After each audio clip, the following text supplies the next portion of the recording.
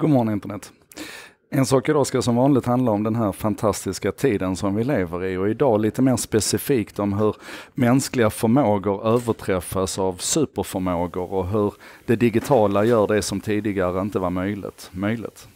Och mer specifikt så ska det handla om att om du som har en sån här Pixel, eh, en av Googles telefoner från första generationens Pixel till Pixel 3 som släpptes för bara ett par veckor sedan. Om du har en sån telefon så har den i natt fått en helt ny magisk egenskap. Google kallar det för Night Vision. Nej, de kallar det för Night Sight.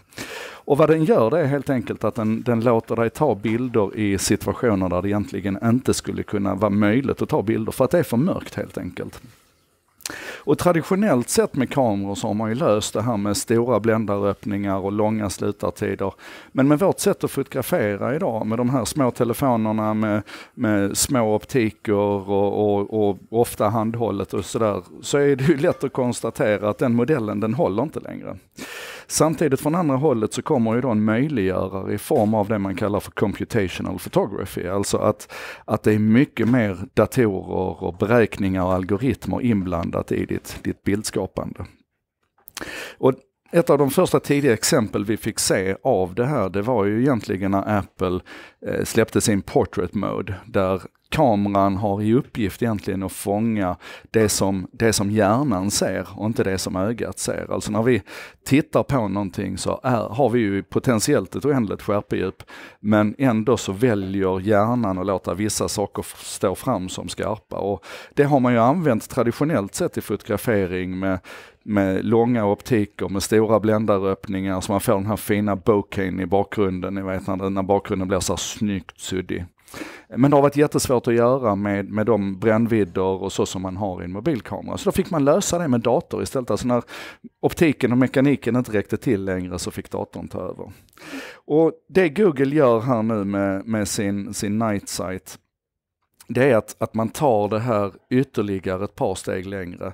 Eh, när man läser om, de har skrivit ett white paper om, om tekniken bakom sin, sin night sight och det är, det är nästan som poesi emellanåt när man beskriver hur de här algoritmerna arbetar och sådär. Men man kan egentligen koka ner det till att det är så mycket artificiell intelligens inblandat i den här och så mycket algoritmer inblandat i den här bilden som du tar idag.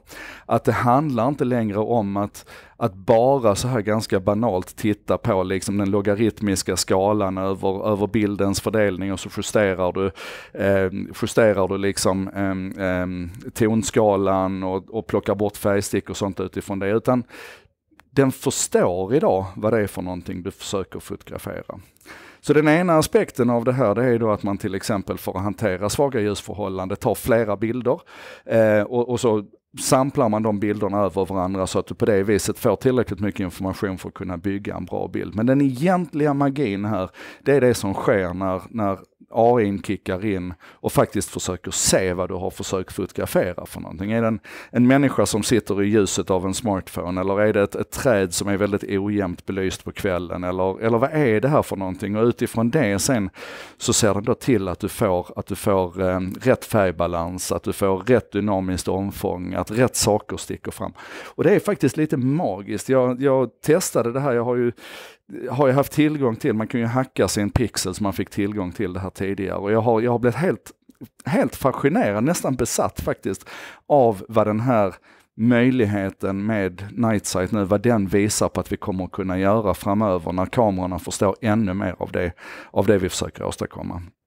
Och Rent krasst kan man säga att Google har ju släppt på det här i, i den existerande kameraappen. Det är ingenting du kan välja, utan ja du kan välja men du kan bara välja när Googles kameraapp tycker att nu är det läge att slå på Night Sight och då får du välja om du vill göra det eller inte.